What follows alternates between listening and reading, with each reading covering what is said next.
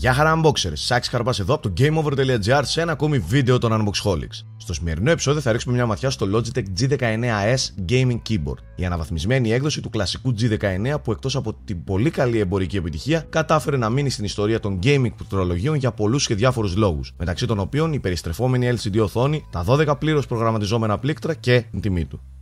Η νέα σειρά G προϊόντων της Logitech πέρα του αναβαθμισμένου λόγο έχει αλλάξει και εικαστικά και έχει ενστερνιστεί μια πιο επιθετική εικόνα στο ράφι, με το συνδυασμό του μαύρου και του μπλε να επιδιώκει να γίνει το σήμα κατά τεθέν. Πριν περάσω στο ίδιο το προϊόν, να σας ενημερώσω πως τις επόμενες μέρες έρχονται και άλλα προϊόντα της G σειράς της εταιρείας.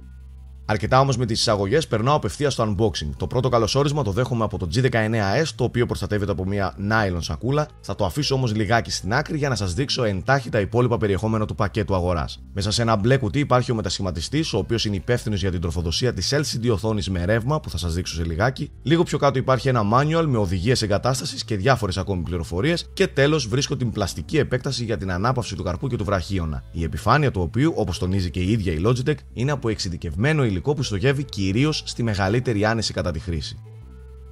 Πάμε όμως στο κυρίως πιάτο, το G19S. Αφού αφαιρέσω τις προστατευτικές ζελατίνες της οθόνης, θέλω να σας δείξω τη συνδεσμολογία. Το πληκτρολόγιο συνδέεται με τον ηλεκτρονικό υπολογιστή μέσω USB καλωδίου, ενώ υπάρχει μια θηλυκή θύρα για την τοποθέτηση του καλωδίου ρεύματος. Για να ξεπερδεύουμε μετά των θυρών, να σημειώσω πως το G19S προσφέρει και δύο υψηλής ταχύτητας USB υποδοχές που ουσιαστικά λειτουργούν ως hub πάνω στο πληκτρολόγιο. Η διάταξη των πλήκτρων είναι η παραδοσιακή και δεν διαφέρει σε τίποτα από το απλό G19. Το πρώτο που θα παρατηρήσει ένας gamer είναι ότι τα ASDW και τα 4 keys κατευθύνσεων είναι χρωματισμένα γκρι για να γίνονται περισσότερο ευδιάκριτα στις κρίσιμες στιγμές. Στα αριστερά βρίσκω τα 12 πλήρως προγραμματιζόμενα πλήκτρα, ονόματι G-Keys, στα οποία ο χρήστης μπορεί μέσω ειδικού software να αναθέσει οποιαδήποτε λειτουργία, shortcut ή ακόμη και να καταγράψει συγκεκριμένη αλληλουχία πλήκτρων.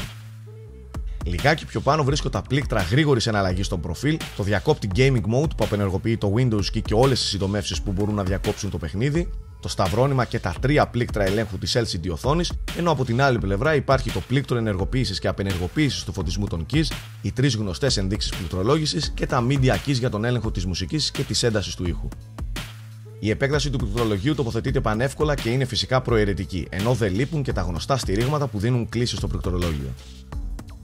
Σχεδιαστικά, η Logitech ενδιάμεσα στα πλήκτρα προτίμησε να δώσει μια σκούρη μπλε επιφάνεια με γλώσσι φινίρισμα, η οποία έχει και μερικές λευκές λεπτομέρειες.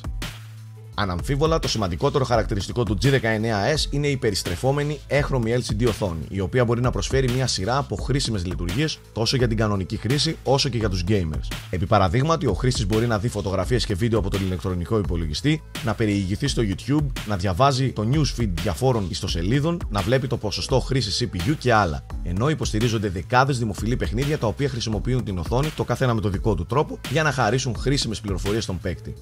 Επίσης υποστηρίζονται προγράμματα όπως το Fraps, το Ventrilo και το Xfire. Πολλοί εύλογα θα αναρωτηθούν γιατί να κοιτάω αυτές τις πληροφορίες στο πληκτρολόγιο και να μην τις κοιτάω στην οθόνη μου. Εν μέρη, μια τέτοια άποψη δεν είναι απόλυτα λανθασμένη. Ωστόσο, το LCD panel του G19S μπορεί να φανεί πολύ χρήσιμο όταν η οθόνη του υπολογιστή είναι κατηλημένη από κάποια άλλη εφαρμογή. Όπως ίσχυε και στο αρχικό G19, έτσι και εδώ όλα τα πλήκτρα είναι φωτιζόμενα, με το χρήστη μέσω της software πλατφόρμας να μπορεί να επιλέξει οποιοδήποτε χρωματισμό και ένταση φωτισμού επιθυμεί. Όσον αφορά την πληκτρολόγηση, αυτή πραγματοποιείται αθόρυβα, ξεκούραστα και δίχως προβλήματα. Η απόκριση των πλήκτρων είναι ταχύτατη και η γενική εμπειρία χρήσης τόσο στα παιχνίδια όσο και στις υπόλοιπες εφαρμογές είναι εξαιρετική.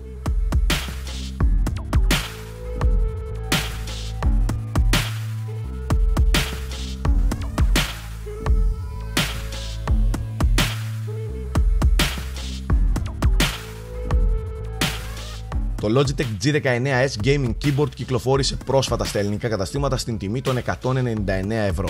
Α είμαστε ειλικρινείς, η τιμή είναι από λίγο έως πολύ τσιμπημένη, ειδικότερα για τα σημερινά δεδομένα. Ωστόσο, ως κάτοχος εδώ και χρόνια του απλού G19, οφείλω να ομολογήσω πως το keyboard της Logitech είναι εξαιρετικά ποιοτικό, ανθεκτικό και με δεκάδες χρήσιμες πληροφορίες, που μπορούν να βγάλουν ασπροπρόσωπο τόσο τον απλό χρήστη όσο και τον gamer. Και εννοείται πως δεν χρειάζεται να αναφέρω πως με αυτήν την τιμή και με αυτά τα τεχνικά χαρακτηριστικά, το G19S απευθύνεται στην elite του αγοραστικού κοινού, που δεν συμβιβάζεται με μικρότερες από όλες τις απόψεις λύσεις.